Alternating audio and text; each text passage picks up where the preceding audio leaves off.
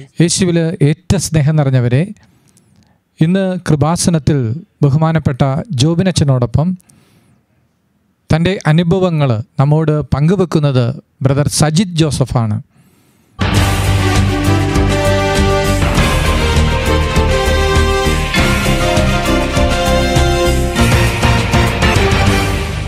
നമുക്കറിയാം ഈ കാലഘട്ടങ്ങളിൽ കർത്താവിന്റെ വചനത്തിന് സാക്ഷിയായി അനേക രാജ്യങ്ങളിൽ സഞ്ചരിക്കുവാനായിട്ട് ഭാഗ്യം ലഭിച്ചിട്ടുള്ള ബ്രദർ സജിത് ജോസഫ് യേശുക്രിസ്തുവിന്റെ കൃപയാൽ പ്രത്യേകം കത്തോലിക്ക സഭയോട് പുനരയിക്കപ്പെട്ടിട്ട് ഒരു വർഷം തികയുകയാണ്.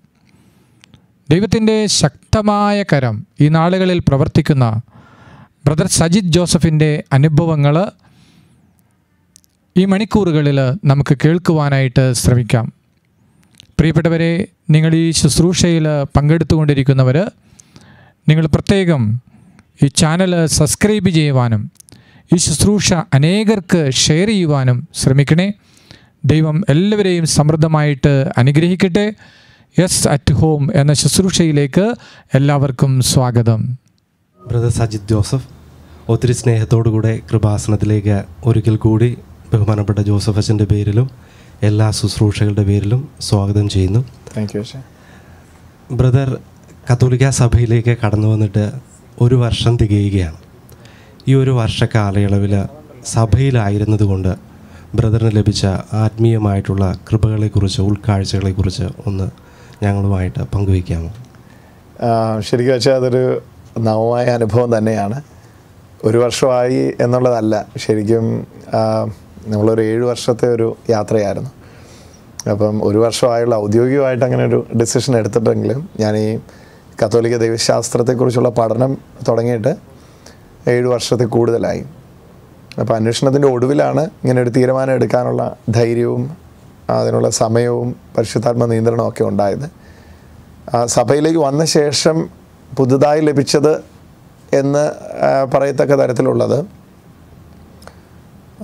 എനിക്ക് എന്താണോ മിസ് ചെയ്തിരുന്നത് എന്ന് പറയുന്നതായിരിക്കും കുറച്ചുകൂടെ നല്ലത്. അത് നമുക്കറിയാം ഇപ്പം പ്രൊട്ടസ്റ്റന്റ് ദൈവശാസ്ത്രത്തിൽ തന്നെ ഇല്ലാത്ത ഒരു ഭാഗമാണ് മരിയോളജി അങ്ങനെയുള്ള പഠനങ്ങൾ.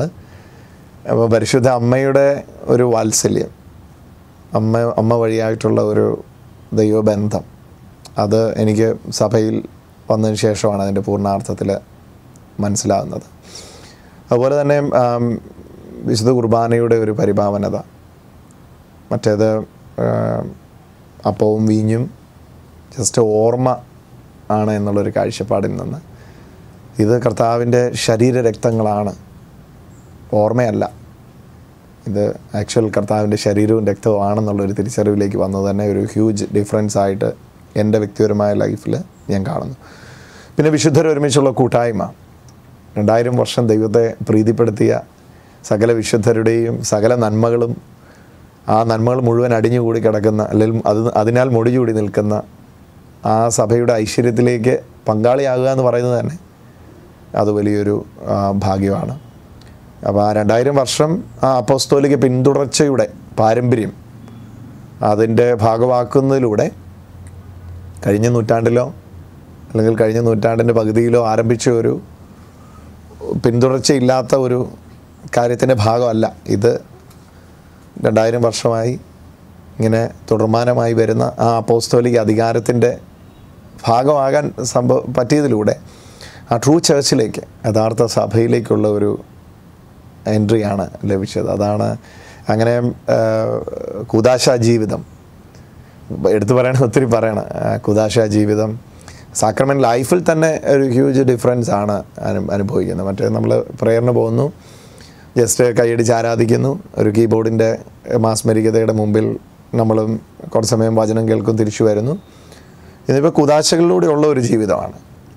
കൗദാശിക കുദാശ ജീവിതമാണ്. അപ്പം അതിന്റെ ഒരു ഡെയിലി ലൈഫിലുള്ള വ്യത്യാസം വേറെയാണ്. ഹോളി ഫാമിലിയുടെ ബ്ലെസ്സിങ് വേറെയാണ്. കുടുംബജീവിതത്തിലേക്ക് നമ്മൾ വരുമ്പോഴും ആ ഒരു കാറ്റഗിസത്തിന്റെ following Sunday school I mean നമുക്കുള്ള മതപഠനങ്ങൾ അതെല്ലാം കുഞ്ഞുങ്ങളിൽ തന്നെ വരുത്തുന്ന വ്യത്യാസം. ചിട്ടയായ പ്രാർത്ഥനാ ക്രമങ്ങൾ അൽത്താരയായി മാറുന്ന പുണ്യാവസ്ഥ അൽത്താല സൃഷ്ടിക്കുന്ന പുണ്യാവസ്ഥ അങ്ങനെ ഒരുപാട് മാറ്റങ്ങളാണ് അതിനകത്ത് വരുന്നത്. കത്തോലിക്ക സഭയിലേക്ക് ചേർന്ന ആ സമയത്ത് പുനരൈക്യപ്പെട്ട സമയത്ത് ബ്രദറിന് നേരെ ഒത്തിരിയേറെ വിമർശനങ്ങളൊക്കെ ഉണ്ടായിരുന്നു. പ്രത്യേകിച്ച് സോഷ്യൽ മീഡിയ വഴി ഒരുപാട് വിമർശനങ്ങളുണ്ടായിരുന്നു. ഈ വിമർശനങ്ങളെയൊക്കെ എങ്ങനെയാണ് ബ്രദർ അതിജീവിച്ചത്? വിമർശനങ്ങളെന്ന് പറയുന്നത് ആക്ച്വലി ഓരോ വ്യക്തികൾ കാണുന്ന വിശാല വീക്ഷണങ്ങളാണ്. ഇപ്പോൾ ഒരാൾ കാണുന്ന ആംഗിളായിരിക്കത്തില്ല വേറൊരാൾ കാണുന്നത്. അപ്പം അതുകൊണ്ട് തന്നെ മറ്റൊരാൾക്ക് അതൊരു വിമർശന കാരണമാണ്. ഇപ്പോൾ ഞാനെടുത്ത ഈ തീരുമാനവും തികച്ചും വ്യക്തിപരമായിരുന്നു. വ്യക്തിപരമെന്ന് പറയുമ്പോൾ തന്നെ ഈ ന്യൂസിലാൻഡ് മുതൽ കാനഡ വരെ എല്ലാ രാജ്യങ്ങളും വിസ്തൃതമായി കിടന്ന ഒരു സമൂഹത്തിന്റെ മുൻനിരയിലായിരുന്നു ഞാൻ ഉണ്ടായിരുന്നത് അപ്പോൾ അതുകൊണ്ട് തന്നെ വ്യക്തിപരമൊന്നും പറയാനും കഴിയില്ലായിരുന്നു. ഞങ്ങൾ ഒരു കൂട്ടായിട്ടെടുത്ത ഒരു തീരുമാനം എന്ന് വേണമെങ്കിൽ പറയാമായിരുന്നു. അപ്പോൾ അതുകൊണ്ട് തന്നെ ഒരുപാട് വിമർശനങ്ങൾ ആ സമയത്ത് ഏൽക്കേണ്ടി വന്നു. വിമർശനങ്ങളൊന്നും ഏൽക്കേണ്ടി വന്നത് വ്യക്തിപരമല്ലായിരുന്നു. ഉപദേശപരമായിരുന്നു. ഉപദേശപരമായിരുന്നതുകൊണ്ട് തന്നെ വ്യക്തിപരമായിട്ടുള്ളവയെ പോലും അവഗണിക്കുന്ന ഒരു ശൈലിയായിരുന്നു ഞാൻ പിന്തുടർന്നത്. വിമർശനങ്ങളിൽ നമ്മൾ മൂന്ന് അപ്രോച്ചുകളാണ് പ്രധാനമായിട്ട് സ്വീകരിക്കാൻ എന്റെ മനസ്സിൽ ഞാൻ ഉറപ്പിച്ചിരുന്നത്. ഞാൻ കറക്റ്റ് ചെയ്യേണ്ട ഒരുപാട് മേഖലകളുണ്ട്. അതിൽ കറക്റ്റഡ് ആവുവാനായിട്ട് ഞാൻ താല്പര്യപ്പെട്ടു. എന്നെ വിമർശിച്ചപ്പോൾ വിമർശിച്ചവരുടെ പിന്നിലെ ഇന്റൻഷൻ ഞാൻ അന്വേഷിച്ചു. എന്നെ തളർത്താനാണോ തകർക്കാനാണോ അതോ എന്നെ വളർത്താനാണോ അല്ലെ എന്നെ പണിയാനാണോ? തകർക്കാനും തളർക്കാനും വന്ന വിമർശനങ്ങൾക്ക് ഞാൻ ചെവി കൊടുത്തിട്ടില്ല. എന്നാൽ എന്നെ കറക്റ്റ് ചെയ്ത് എന്നെ വളർത്താൻ ഉദ്ദേശിച്ച വിമർശനങ്ങളെ ഞാൻ ശിരസ വഹിച്ചിട്ടുണ്ട് ഏറ്റെടുത്തിട്ടുണ്ട്.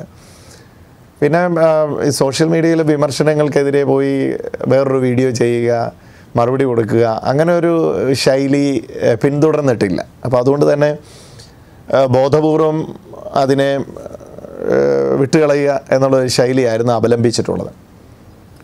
പിന്നെ എതിരെ ഇങ്ങനെ വീഡിയോസൊക്കെ ചെയ്യുന്നവരുണ്ട്. ഇപ്പം നമ്മളൊരു സാമൂഹ്യ മനുഷ്യനാണ്. നമ്മൾക്കിപ്പം ഇപ്പം നമുക്കൊരു യൂട്യൂബ് ചാനലുണ്ട്. അതിനകത്ത് സ്പിരിച്വലായിട്ടുള്ള കാര്യം. ഞാൻ മുന്നൂറ്റി അറുപത്തഞ്ച് ദിവസം നാനൂറ്റി എഴുപത്തിനാല് മീറ്റിംഗ് ചെയ്യുന്ന ഒരു തിരക്കിൽ ഓടിക്കൊണ്ടിരിക്കുകയാണ് ഈ ലോക്ക്ഡൗണിന് മുമ്പ്. എല്ലാ സ്ഥലങ്ങളിലും മീറ്റിങ്ങുകൾ കാര്യങ്ങളുമായിട്ട് അപ്പോൾ എനിക്കൊരു ഇടവേള കിട്ടിയ ഒരു സമയമാണ് ശരിക്കും ഒരു പന്ത്രണ്ട് പന്ത്രണ്ട് വർഷത്തിനിടയിൽ കിട്ടിയ ഒരു ഇടവേളയായിരുന്നു ഈ ലോക്ക്ഡൗൺ ടൈം അപ്പോൾ ആ ഇടവേള ടൈമിൽ വീട്ടിലായിരുന്ന സമയത്ത് എനിക്ക് കുക്കിംഗ് ഒക്കെ ഭയങ്കര ഇഷ്ടമാണ്. നമുക്ക് റെസ്റ്റോറന്റ് ഉണ്ട് റെസ്റ്റോറന്റിൽ ഞാൻ കുക്ക് ചെയ്യാറുണ്ട്. ആൾക്കാർക്ക് കൊടുക്കാനല്ല എനിക്ക് കഴിക്കാനൊക്കെ ആയിട്ട്.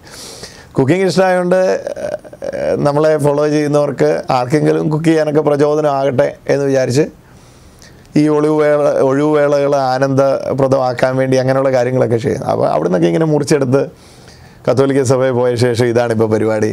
കുക്കിംഗ് ആണ്. ഒക്കെ പറയുമ്പോൾ അതൊരു എന്താ ഒരു നിലവാരം കുറഞ്ഞ കാര്യങ്ങളായതുകൊണ്ട് അതിനൊക്കെ എതിരെ മറുപടി പറയാൻ നമ്മൾ പോകേണ്ട ആവശ്യമില്ല എന്നുള്ള ഒരു ചിന്തയിലാണ്. കാരണം അതെല്ലാം ആവശ്യമായ കാര്യങ്ങൾ തന്നെയാണ്. പിന്നെ അതൊന്നും രഹസ്യമായിട്ട് ചെയ്യുന്നില്ല. എല്ലാവരും കണ്ടോട്ടെ എന്ന ചിന്തയിൽ തന്നെയാണ് ഞാൻ ചെയ്യാൻ ഇഷ്ടപ്പെടുന്നത്.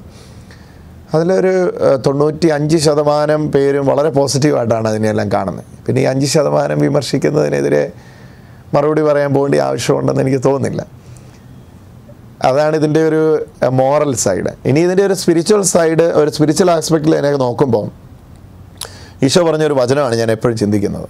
നിങ്ങളെക്കുറിച്ച് നിങ്ങളറിയാത്ത ഒരാക്ഷേപം ആരെങ്കിലും പറയുന്നുവെങ്കിൽ സ്വർഗത്തിൽ നിങ്ങളുടെ പ്രതിഫലം വലുതാകുന്നു.